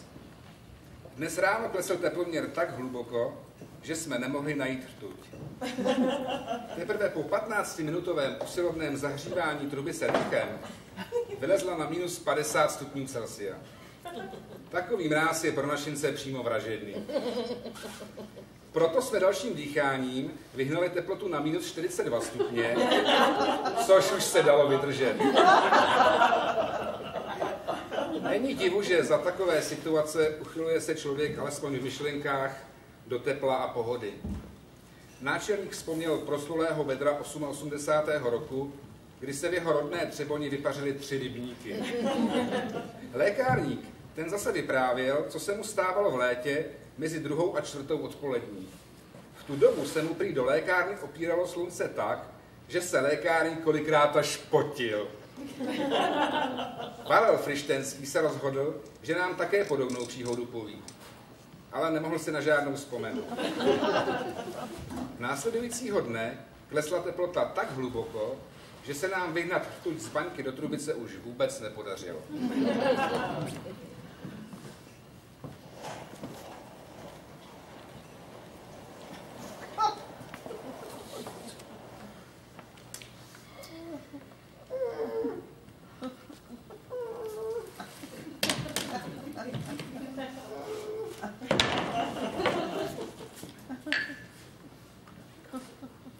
Pánové, ale dobrý kamna jsou taky mozgrávky. Sice poměrně dlouho trvá, než se rozhicujou, ale za to potom dlouho hřejou. A nebo americká kamna, jestli znáte. O s tím okýnkem. No, na těch je krásné to, že to člověk to teplo nevnímá jen pokožkou, ale i očima, jak ty plamínky skrz tu slídu plápolají. On by pánové stačili bubínek. No, no bodeď. My jsme vám jednou takhle hráli s magistrem Boučkem šachy a já jsem ten bubínek rozpál úplně do rude. A magistr Bouček povídá, Vojtěchu, mně se zdá, že jsou ty kamna nějaký malý. tak já povídám, no jsou to taky ty nejmenší kamna, které jsou tmání. A on povídá, ale mně se zdá, že jsou nějaký menší a menší. Tak já se vám na ten bubínek podívám. A on se vám těma rozhavanýma nožičkama, jo, propál rovnou do podlahy. To je krásná příhoda, Vojto. To bych si nechal vyprávět ještě jednou. Tak my jsme takhle jednou hráli s magistrem Třeba zítra nám to řekne. Zítra, jo. Řeknu vám, já dám si do pokoje štvený kamna. Ty, co jsme říkali, a ještě tam byli nějaký. Já teda nechci síčkovat, Václav, ale aby ti to utáhl komín. Teda pánové, vidíte to? To je mráz, co? Buď rád, že se skutrh. Teda pánové, až se mnou, až zase budete někdy chtít jít na nějaký ten pol, jo, tak se mnou už nepočítejte. Já jsem tím zájezdem vyloženě zklamaný. Co je tady? Led, sníh, mráz, mlha, rampouchy, no, tady zrovna jeden velký jako blbec. Počkej, nekopej tady do ničeho, do čeho to... Pánové, mám dojem, že právě stojíme tváří v tvář a... Ne, takhle. Tváří v tvář americké výpravě profesora McDonalda. Sám pan profesor? Ano. Je tomu rok, co vyrazil z Grónska na pol a od té doby o něm není zpráv. Byl to velký polární. A cože je tak malej? Mrazem. Pánové, posaďte se. Náhodou se o něm četl v učitelských novinách. Pan profesor zdědil obrovské jmění a celého věnoval na oltář vědy. Na odporářském sjezdu amerických milionářů v tom ve Washingtonu DC řekl pan profesor jednu krásnou myšlenku. Řekl, ovšem, nevím, pane profesore, jestli vás budu citovat úplně přesně. Řekl, věda má bohatým brát a chudým dávat. Nebo chudým brát a bohatým dávat. No to je jedno, něco v tom smyslu řekl. On se jako 15 letý ponořil do studia biologie, aby se po deseti letech vynořil jako autor světoznámé knihy Člověk a mráz. Uskutečnil bezpočet pokusů na vlastním těle, aby vyzkoušel, jaké podchazení lidský organismus vydrží. Koukám, že tady to kapánek přeťá. Pro nás Čechy, lépe řečeno pro Moravany, není bez zajímavosti, že nějakou dobu pan profesor dlel i na našem zámku Lednice.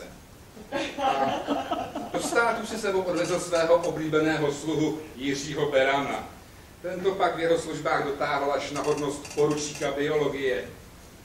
Ale teď mě napadá, výprava profesora McDonalda byla dvoučlená, čili poručík Beran tu někde musí být, ten se nemohl jen tak ztratit, to je chlap jako hora.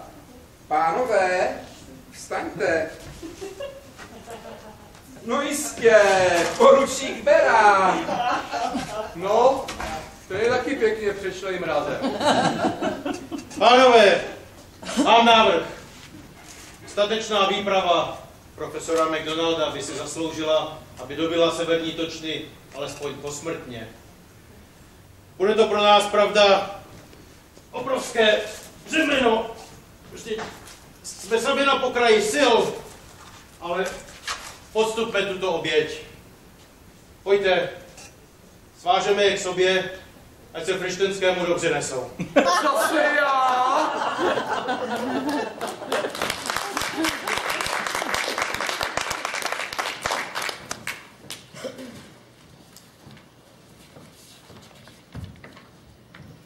Dnes byl vydán zákaz hovorů o kamenech, teplých krajích, spále a podobně.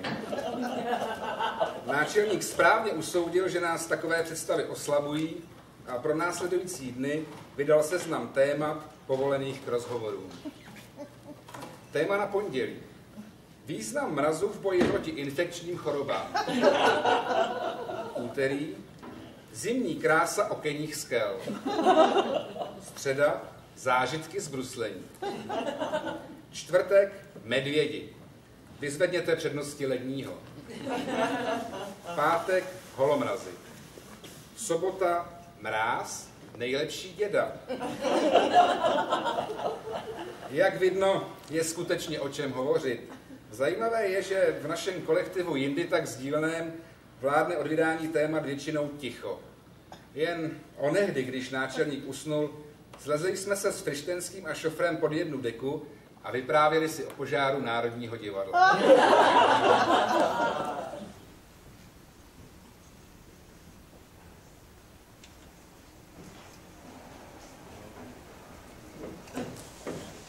Ještě kousek, ještě kousek, už to bude, Vojto.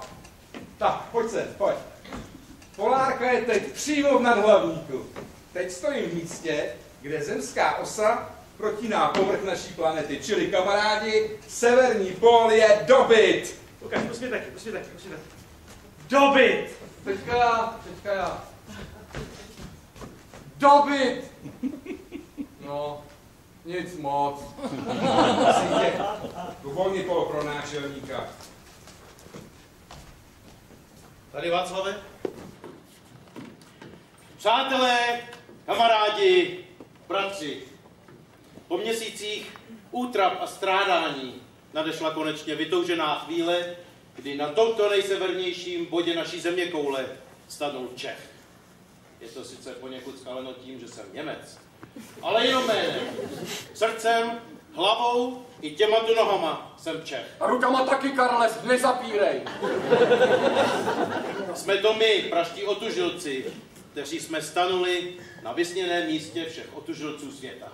Karle, zkrať to, je tu zima, zkrať to! A není pro muže hanbou, když zde v místě věčného mrazu uroní kroupu. Ze který do rachotu našich slzí zazní naše sokolské nazdar. Zdar! A teď, kamarádi, bych vás rád upozornil na jednu zeměpisnou zajímavost. Na to se těším už od náchoda. Postavím se já teď k náčelníkovi a půjdu od něho, od něho jakýmkoliv směrem, kam byste řekli, že půjdu. Od náčelníka. Krištenský ty se naší soutěže nezúčastní. Takže se dívejte. Jdu na jich. Jdu zase na jich. Jdu na jich. To je neuvěřitelné. To ještě nic není, Vojto. Frištenský stoupni si k náčelníkovi zády.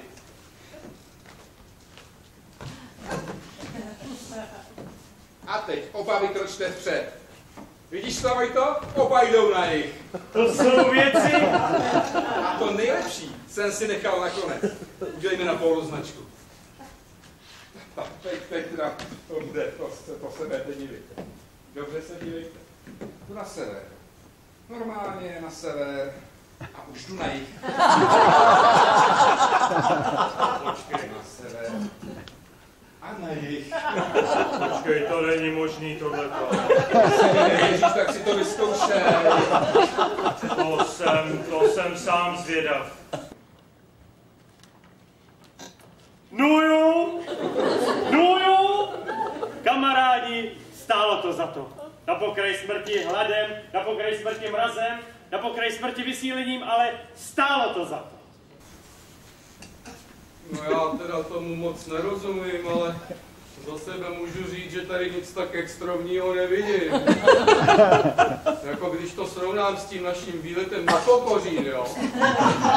To se vůbec nedá srovnávat. Jak tohle to se nedá srovnávat? Tam byly aspoň pískovcový skály v občerstvení. Co je tady? Mlč, prosím tě, mlč. Tohle to je zážitek na celý život. Já to musím zkusit ještě jednou. Klidně, to se neochodí. Takže na sebe a na jej. Obráceně taky, viď? Na sebe a na jej. No to je nádhera.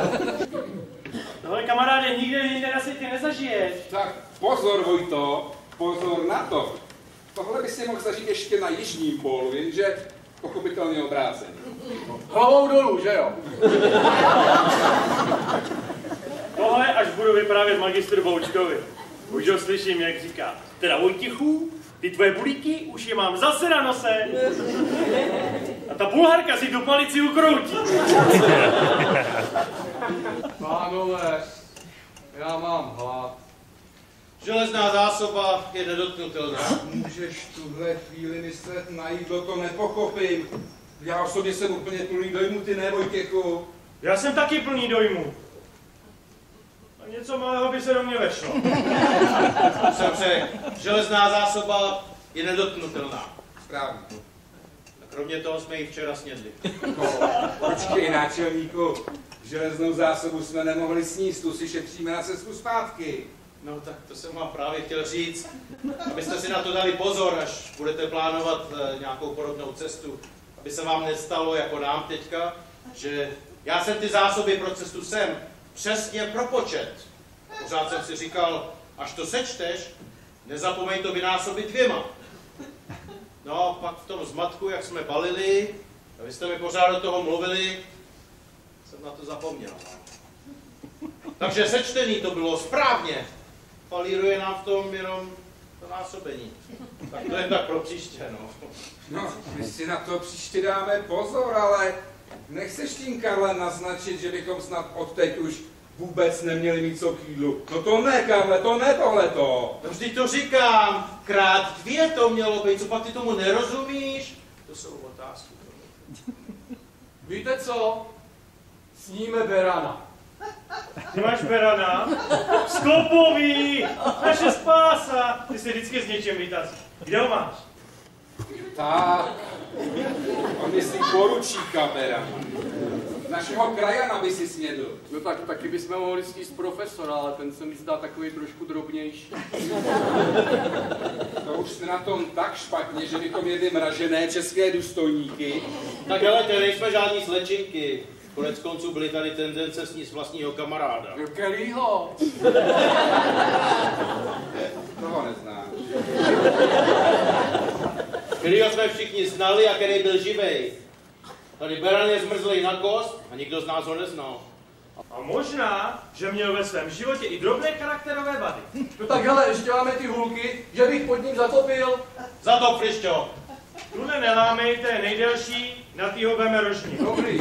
Tak vy ho sundejte, já rozdělám oheň a až trochu změkne, tak ho naporcuju. Já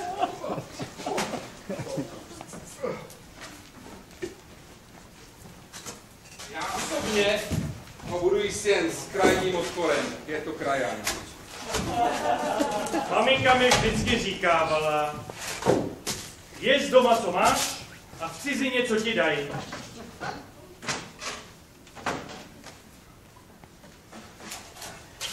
No, pánové, už pěkně rozmrzá. Pomáhá to jeho jméno. Pečený beran, to nezní tak špatně. Horší výbor by se jmenoval třeba Kratochvíl. Já bych sněd i kratochvíla.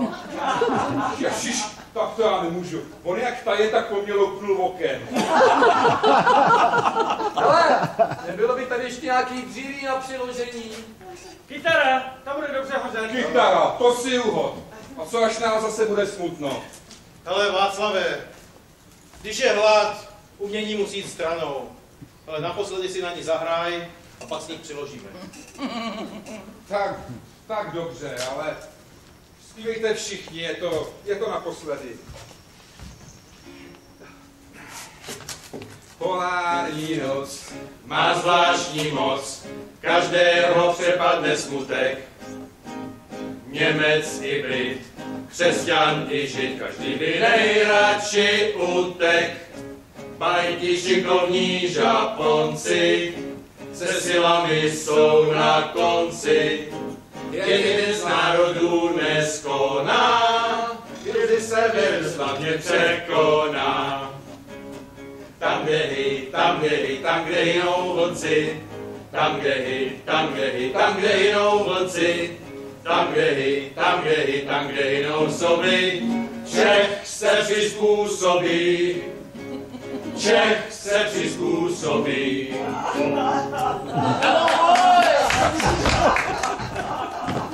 My name is George Beran. I am very glad to see you. Mr. Chauffeur.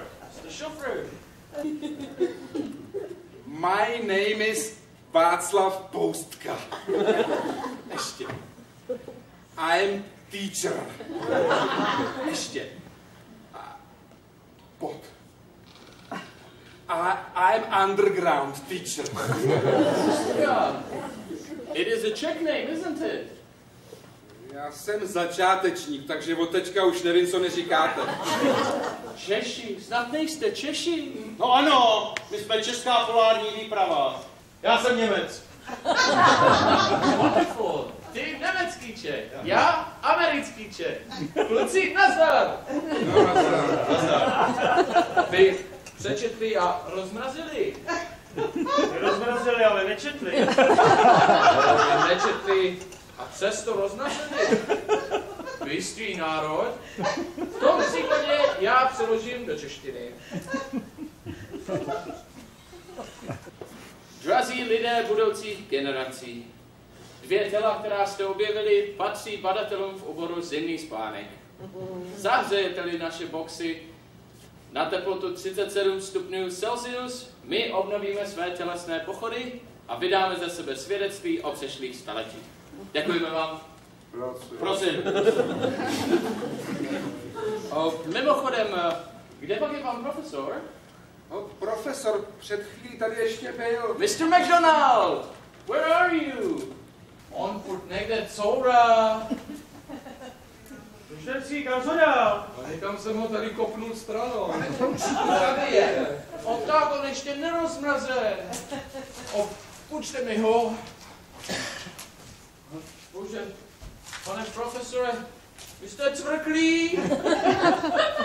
Já byl taky tak cvrklý. No tak nebylo vás moc, ale byl jste lepší kousek, tak jste vás vzali jako první. Ale cítím se dobře po těch staletích, cože mám tak ohořelé boty. Páteř mi nefunguje, já mám zcela nehodnou páteř. Já měl za krkem. No proč to? No, na tom jsme vás obdělávali. Pane poručíku, chce říct, že na té tyči jsme vás oživovali. No, oživovali.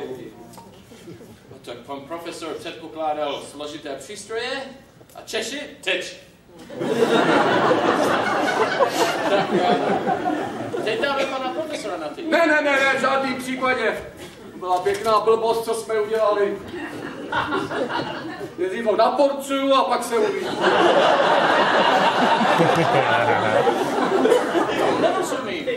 Pane Vadel chce říct, eh, že po případě profesora McDonalda musíme postupovat daleko opatrněji než eh, s vámi. Když my jsme vás šmále připálili, člověče.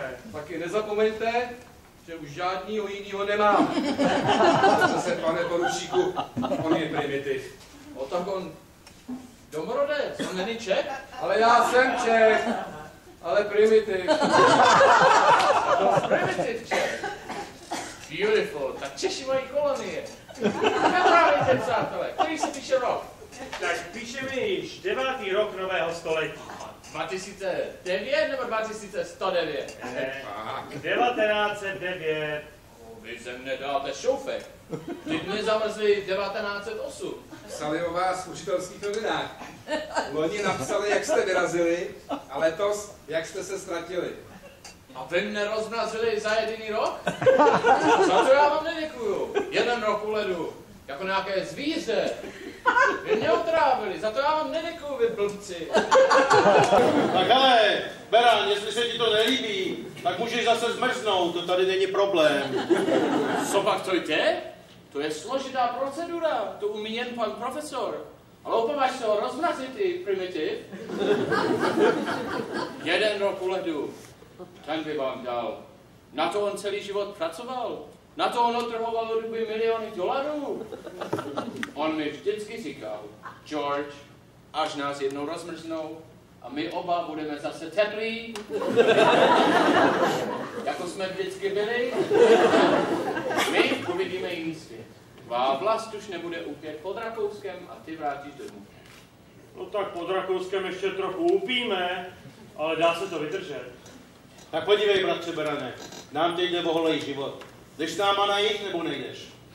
Já bych bratra upozornil, že odsud se prakticky jinam než na jich jít nedá. Co mi zbývá, když vy mě takhle zborali? Ale profesor, ten ať zůstane tu. Ten ať dočká aspoň 100 let. No ale to není rozumná myšlenka. Podívej, eh, tady na polu by neměl klid. Sem teď míří jedna výprava za druhou. Amundsen, Nansen, Peary. Tady bude hrozně rušno. Každou chvíli by ho někdo. Z toho radši ohřejeme sami, co? Víš, křížalo. Vítězná polární výpravo na můj povel. Čitmo za směrníky, vzdálenost jednoho krajníka, směr jich, usilovným slavnostním pochodem, za mnou v pořadí náčelník Karel Němec, zde, lékárník Vojtěch Šofr, zde, pomocný učitel Václav Poustka, zde, poručík biologie Bratr Beran, zde, potah, nosič a primitiv, Karel Frištenský plus profesor McDonald, Všichni zde. Hajdy domů! Do staré vlasti! Do Prahy, do Podolí, do lékárny.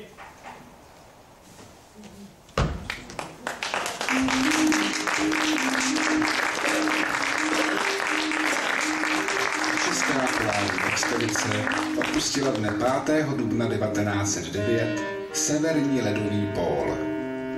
Teprve den na to dorazil k točně američan Robert Edwin Peary. Stateční Čechové se však ke svému prvenství nepřihlásili. Věděli totiž, že by sláva připadla nenáviděnému Rakousku. Teprve po převratě v roce 1918 jediný žijící účastník výpravy Varel Frištenský odhalil lékařskému konciliu v Kosmonosích u Mladé Boleslavy pravdu. Jeho slova byla zaprotokolována a vynesla mu prodloužení pobytu v ústavu o dalších deset let.